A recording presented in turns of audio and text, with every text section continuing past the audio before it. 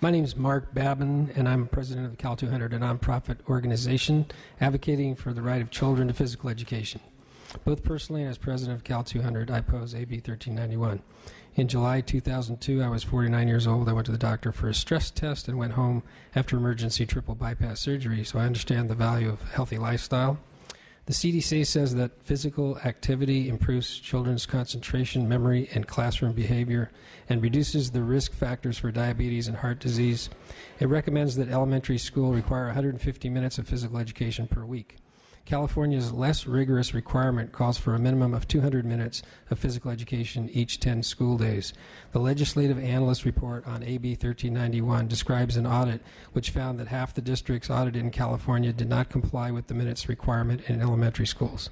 The Legislative Analyst Report also explains that one of the proponents of the bill, San Francisco Unified School District, claimed that 83% of schools complied with physical education requirements when in fact only 5% of its schools complied. Another of the proponents of AB 1391, LA Unified, has repeatedly acknowledged that it does not comply with the minutes requirements.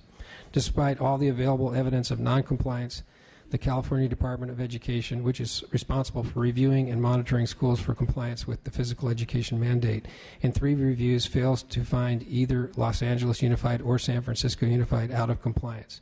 CDE's review in the area of physical education is ineffective, inaccurate, and without significant consequences to non-compliant school districts.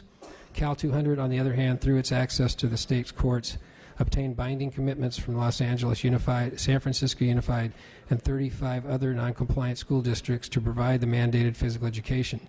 These 37 districts will now be required to provide 558,000 children with over a billion minutes of physical education each school year that was previously denied to them. The benefits to our children that will result from this activity completely outweigh the costs associated with the effort it took to get there. I have seen the list of proponents of AB 1391. The proponents are comprised of a single special interest group, representatives of school districts and school districts that are out of compliance with the physical education mandate. What they say candidly between themselves is more informative than what they say here today. I submit a letter to this committee and attached emails from Abe Hajela, a lobbyist for the proponents of AB 1391, to LA Unified. Mr. Hajela told LA Unified that he drafted AB 1391 and that the quote bill language he drafted unquote is designed quote to prevent future PE minutes unquote. He describes the bill as quote eliminating the right to sue and not even providing clear timelines for resolution of a complaint.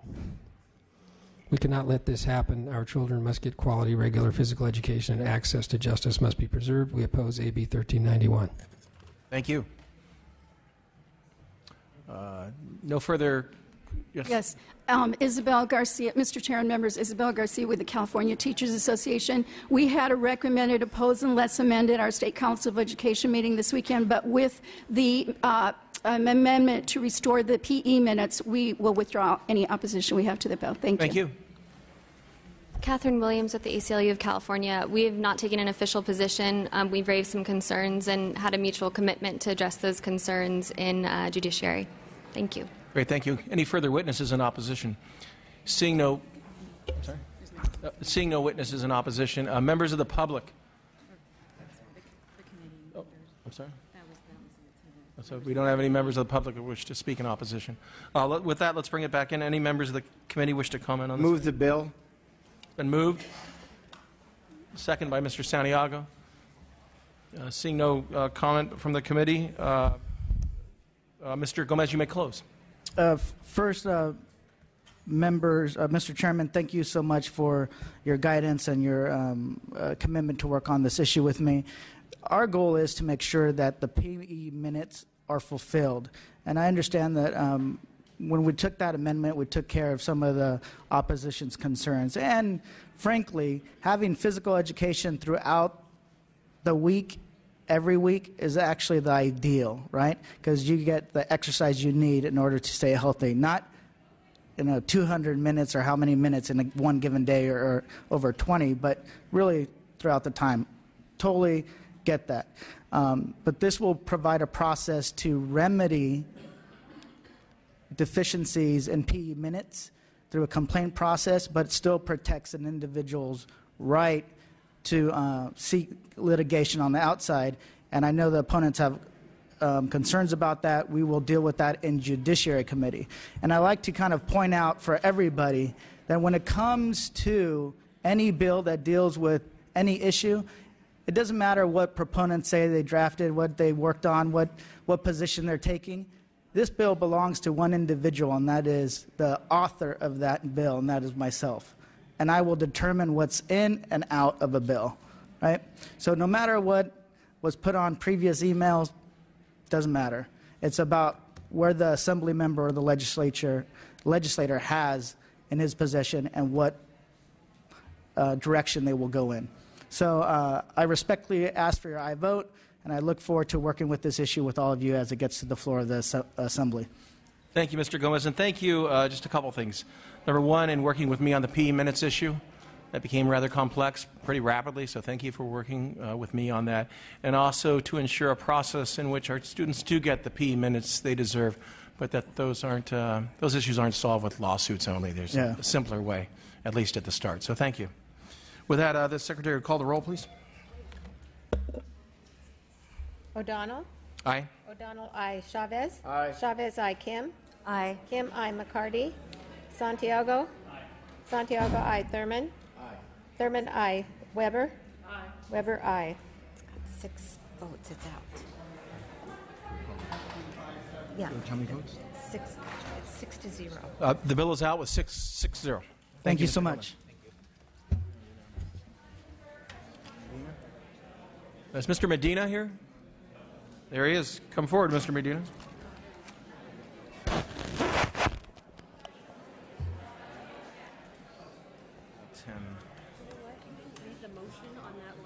Okay.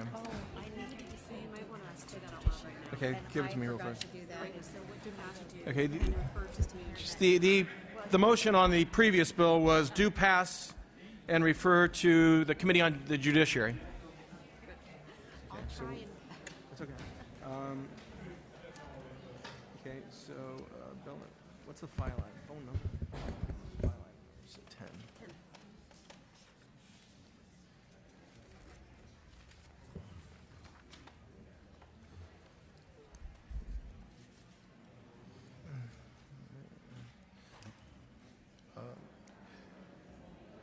Uh, Mr. Medina, you may start. Good afternoon, Mr. Chair and members. I am pleased to present AB 753, which is a measure that will ensure non administrative education employees serving in positions requiring certification will become permanent employees following a probationary period. Today, experienced educators in smaller school districts are being dismissed and terminated for arbitrary reasons without warning. Under current law, only certificated employees in teaching positions at county offices of education with an average daily attendance of more than 250 pupils can achieve permanent status after a probationary period. This means that certified employees in non teaching positions do not have the right to attain permanent status. This policy affects groups of certified employees such as school psychologists, counselors, school nurses, English language educators, foster youth counselors, and special education teachers working with severely disabled students, among others. In the case of a dismissal, permanent employee status would allow employees to request a hearing before a commission on the professional competence to decide whether this dismissal was appropriate. Further, a permanent employee has the right to request a hearing during a reduction of force. Unfortunately, several classes of employees have been inappropriately denied permanent status based on the need to create fiscal solvency or in anticipation that the need for services in the future are insecure.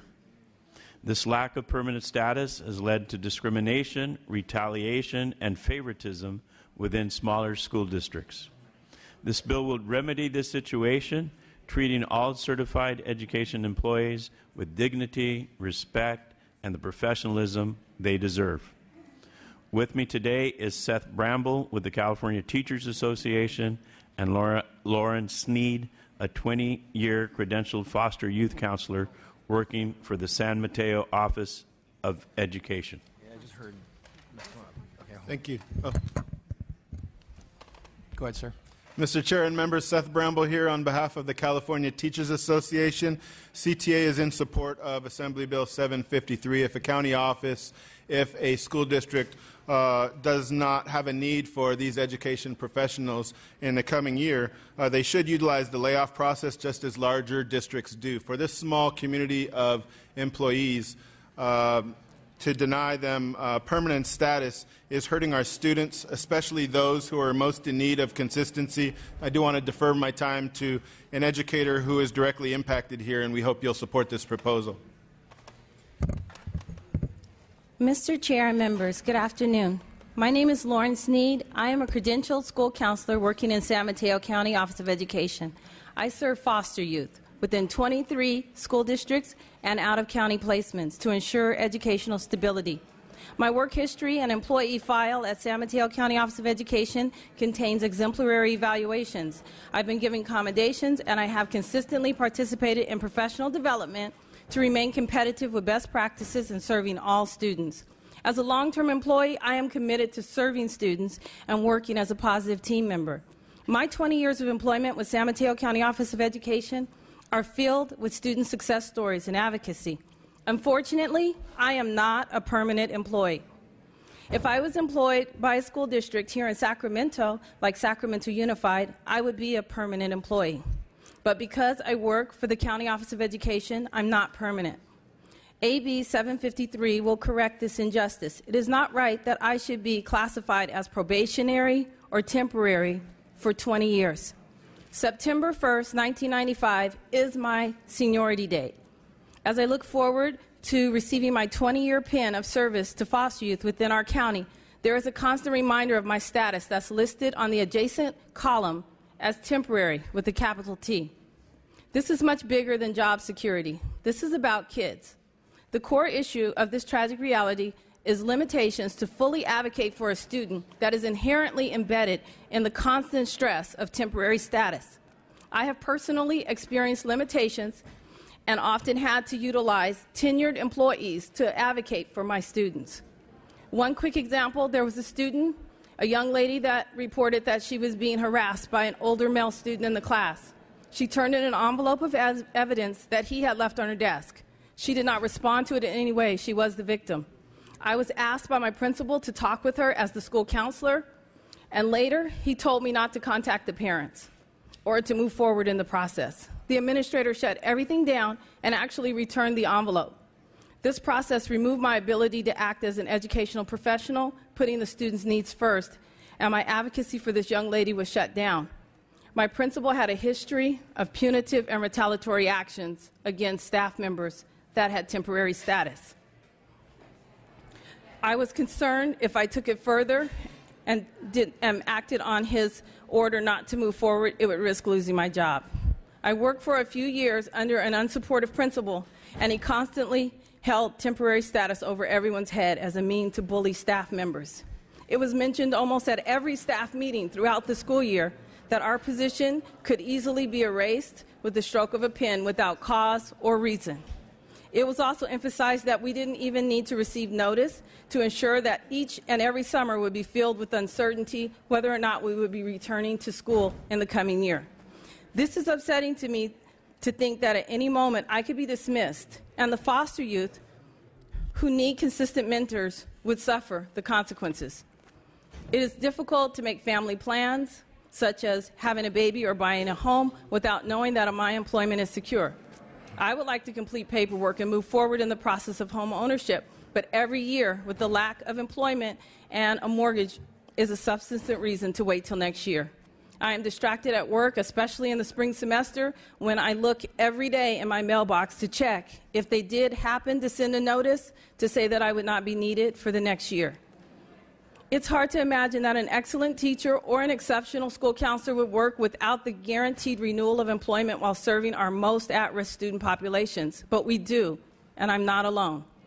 I was given this opportunity to speak up, so on behalf of my foster youth kids on my caseload, and that I follow from year to year until they graduate, and on behalf of the good employees that work sometimes under these unsupportive principles, that have the power to not renew contracts on a yearly basis without reason or cause, please support AB 753. I'm even feeling scared right now about retaliation as my status is still temporary. But I wanted to speak on this matter at this time, so I'm asking for your help. I advocate daily for the success of foster children that I serve, and the new money provided under the local control funding formula will increase their chances. As a credentialed school counselor, my duties are case management, transfer, transcript evaluation, school admissions and withdrawals. I advocate for partial credits, advocacy under AB 490. I coordinate academic, social, and career services, including IEPs, similar to my colleagues employed with the school districts. I have an excellent relationship with my school administrators and counselors, and I hope that my work ethic and my character is evident to everyone. My colleagues employed with the school district have the peace of mind of knowing their employment is secure and they're there for their students. My students deserve a passionate advocate who is free to perform their professional duty. Students are at the center of everything I do. Thank you for your time and understanding in this matter.